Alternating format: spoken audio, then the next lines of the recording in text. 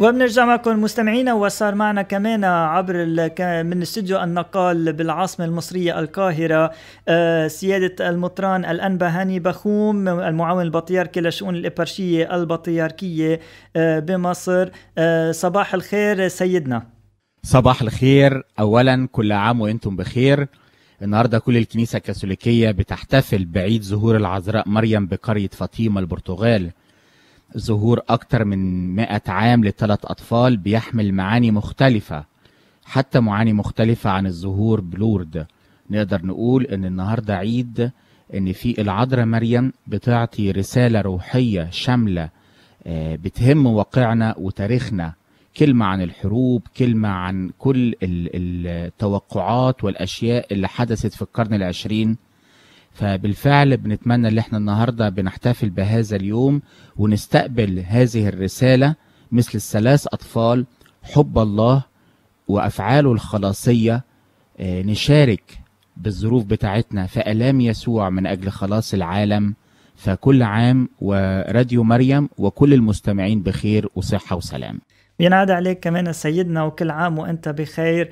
وبنشكر كمان إمنا العذراء يلي ما كانت ابدا صدفة ولكن بتدبيرها إنه اليوم ينطلق آه، استوديو راديو مريم آه، بمصر بالعاصمة القاهرة آه، ببركة أمنا العذراء سيدة فاطمة وبركة سيادتك سيدنا هاني بخوم يلي كمان بفضل تعبك وجهودك كمان. بنتشكرك من القلب على رعايتك لاستوديو راديو مريم بالعاصمة القاهرة. آه، ومن القلب فعلا كل عائلة راديو مريم تتقدم منك بالشكر سيدنا وعلى محبتك الأبوية ومحبتك لكل عائلة راديو مريم. شكرا ليكم جميعا. بالعكس أنا اللي ممتن للتعاون ده وبشكركم وبشكر كل الناس اللي بتساعد في هذا العمل الكرازي المهم. آه، سيدنا اليوم كمان صباحا الأستاذ جوزيف نصار المسؤول عن راديو مريم والمسؤول عن راديوهات ماريا بآسيا واوقيانيا كمان حيا سيادتك وشكرك كمان على آه، رعايتك للاستوديو النقال الجديد آه، لراديو مريم بالقاهرة. آه، وكمان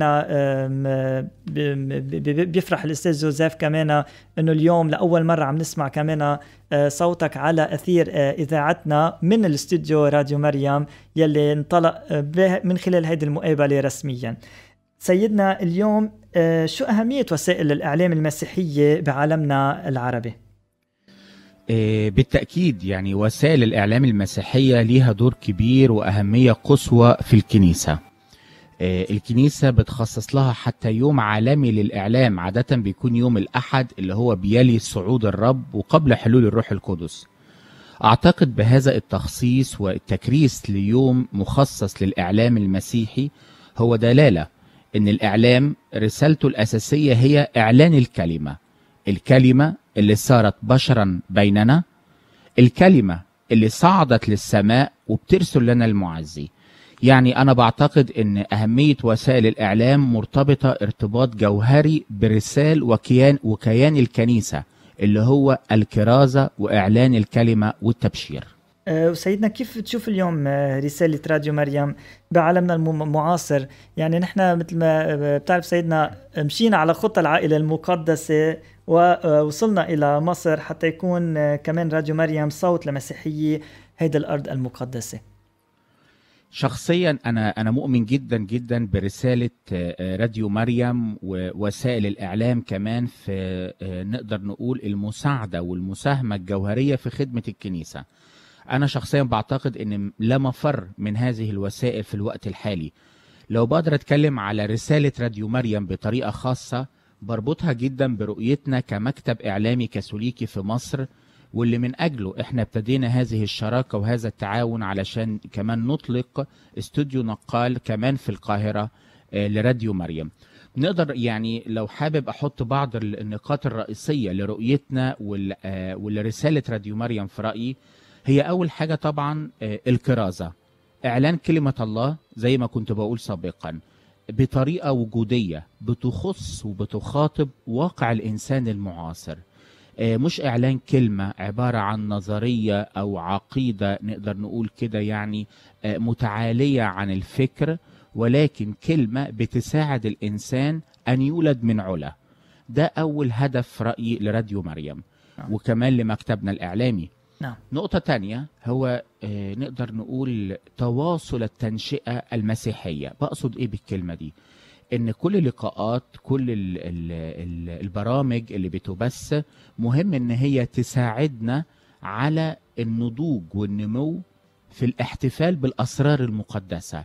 يعني بتكون لنا مدخل علشان نقدر نحتفل أفضل وأفضل بهذه الأسرار. بعد ثالث بيهمني جدا هو الصلاة.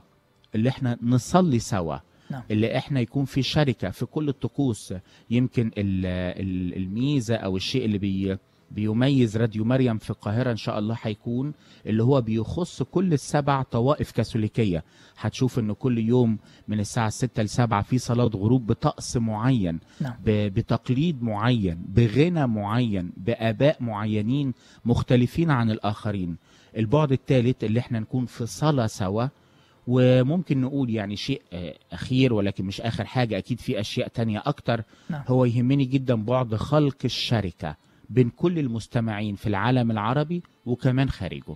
نعم. آه، حلو كتير سيدنا النقاط اللي ذكرتهم عن كمان أهمية رسالة آه، راديو مريم.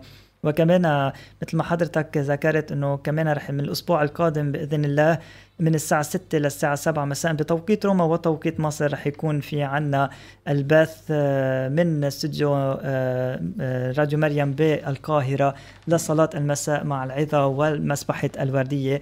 أكيد البرنامج رح يكون كمان يعلن عنه قريبا كمان على صفحاتنا ووسائل التواصل الاجتماعي.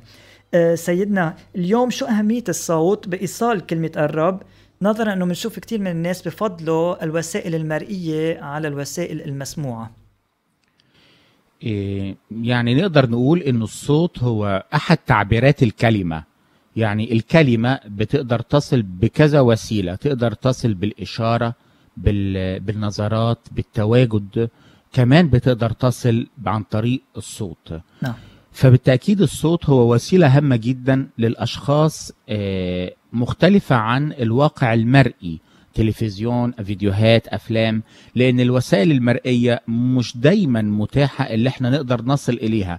يعني بيجي في مثلا في بالي أوقات كتيرة جدا بنضيعها من وقتنا وإحنا في العربيات وإحنا في في العمل. آه، صعب جدا ان إحنا نصل لوسائل مرئية. بيبقى هام وأساسي الصوت والوسائل المسموعة. فأنا بعتقد هي وسيلة أساسية علشان نقدر نصل لقلب العالم في أوقات مختلفة. آه، سيدنا كمان شو هي ال- الرسالة بتح... حضرتك بتحب توصلها للمسيحيين آه، ولمستمعي راديو مريم المنتشرين بكل العالم اليوم؟ آه، يعني أنا في كلمة بصراحة آه، عزيزة قوي عليا في الفترة دي. بحاول دلوقتي نعمل مبادرة اللي أنا بزور كل الآباء الكهنة في رعاياهم. نعم. وطبعا لأن كل واحد في وحدة كبيرة جدا منغلقين منعزلين مفيش الاحتفالات مفيش الصلوات القداديس والأنشطة. وبحاول أوجه كلمة لكل رعيه عن طريق وسائل التواصل. في رسالة يعني غالية عليا شوية. أنا يعني بشوف في الفترة دي اللي إحنا بنعيش في الخمسين المباركة نفس خبرة التلاميذ الأوائل بعد قيامة يسوع. التلاميذ بعد قيامة يسوع كانوا منغلقين خايفين منعزلين محبوسين في غرفة وقلقانين. هم يمكن كانوا قلقانين من خوف من اليهود إنهم يمسكوهم ويعملوا فيهم نفس الشيء اللي تم مع يسوع نعم. إحنا يمكن خايفين وقلقانين بأسباب أخرى ممكن بسبب كورونا الوباء وأعتقد كمان إن ال- الصورة اللي إحنا فيها دي دلوقتي هي صورة آه، نقدر نقول لواقع بنعيشه حتى قبل وباء كورونا اللي هو الانعزال كلنا بنبقى أوقات كتيرة خايفين خايفين في قلوبنا ومنعزلين خايفين من الآخر خايفين من المستقبل خايفين من عدم الضمان خايفين اللي إحنا نفقد شغلنا خايفين من الأمراض. يعني الواقع اللي إحنا بنعيشه النهارده من الانعزال ومن الخوف أقدر أقول كما كان في عصر التلاميذ الأوائل بنحياه الآن. الخبر المفرح ال- ال- الشيء اللي بيعزيني واللي أتمنى إن يصل لكل قلب شخص بيستمع لينا إن يسوع المسيح القائم أول خاصية عنده إنه بيخترق الأبواب المغلقة. بيدخل في هذه الغرفة اللي مقفولة والانعزال ده بتاع التلاميذ وأول حاجة بيعطيها بيقول سلام لكم. حقيقي يسوع المسيح قادر اليوم إنه يدخل في بيوتنا يدخل في قلوبنا ويضع سلام يخلق سلام برغم كل الصعوبات اللي إحنا بنمر بيها. يسوع المسيح ابدا ما وعدنا بتغيير ظروف. ابدا بوعدنا بيأثر فيا إنجيل لوقا الاصحاح 21 لما يسوع المسيح كان بيتنبأ حرفيا عن اللي إحنا بنعيشه النهارده. بيقول وستحدث أوبئة ومجاعات وأحداث مخيفة كثيرا وهذه ستكون فرصة لكم لكي تعلنوا الخبر المفرح. البشارة. الوحيد اللي تنبأ عن حياتي وعن حياتك وعن حياة كل مستمع هو يسوع المسيح واللي فعلا دبر لنا سلام. ده اللي أنا بتمناه ليا وليكم النهارده إن يسوع المسيح من خلال الكلمة من خلال الصوت المسموع ده يقدر يدخل في قلوبنا ويعطينا سلام ببركة الأيام الخمسين المقدسة اللي إحنا بنعيشها بشفاعة امنا العذراء مريم سيدة فاطمة. آمين. آمين. شكرا سيدنا على رسالة الرجاء واللي فعلا بتلمس القلب. وأيضا على رسائل على كلمتك الأبوية يلي فعلا بتشدد آه، المستمعين بالإيمان وبالرب القائم من بين الأموات. بدنا نرجع نتشكرك سيدنا عن جديد آه، على هالمقابلة الحلوة على آه، كمان رعايتك لأستوديو راديو مريم بالعاصمة المصرية قهر القاهره عفوا. ونشكر كمان الأستاذ رامي كمان يلي كمان موجود مع حضرتك على الميكسر. حتى كمان يكون البث بأفضل طريقة. من القلب بدنا نتشكركم أه وبدنا نطلب من سي من سيادتك البركة الختامية لكل مستمعي راديو مريم بافتتاح الاستوديو النقال الجديد لراديو مريم بالقاهرة. فعلا خالص الشكر ليكم جميعا كل الاستاف في راديو مريم في إيطاليا وفي كل العالم. آه، شكر خاص كمان لكل الشباب اللي بيتعاونوا معانا هنا واللي هم بيعملوا كل المجهود رامي وكل الفريق اللي معاه. وبالفعل آه، البركة آه، اللي أنا حابب أعطيها ليكم أتمنى إنها تصل لكل الأشخاص. فليبارككم الثالوث القدوس الله الآب والابن والروح القدس. شكرا وصلوا لأجلي. شكرا لك سيدنا ودايما أكيد صلاتنا لحضرتك حتى ربنا دايما يكون معك ويقويك كمان رعايتك للكنيسة وللابرشيه من القلب شكرا لك سيدنا وربنا يباركك. شكرا. شكرا لك.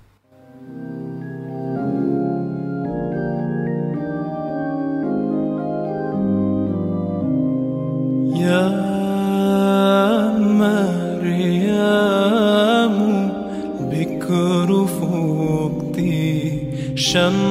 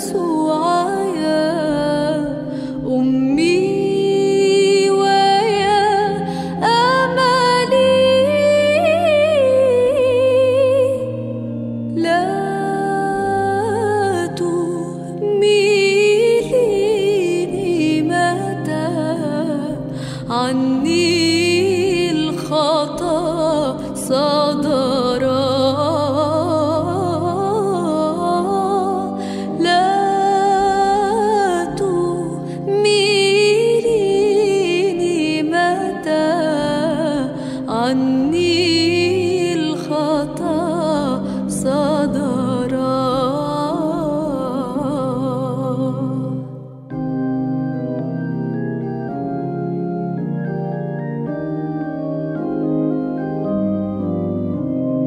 يا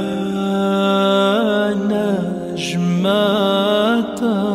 صبح شاعي في معبدنا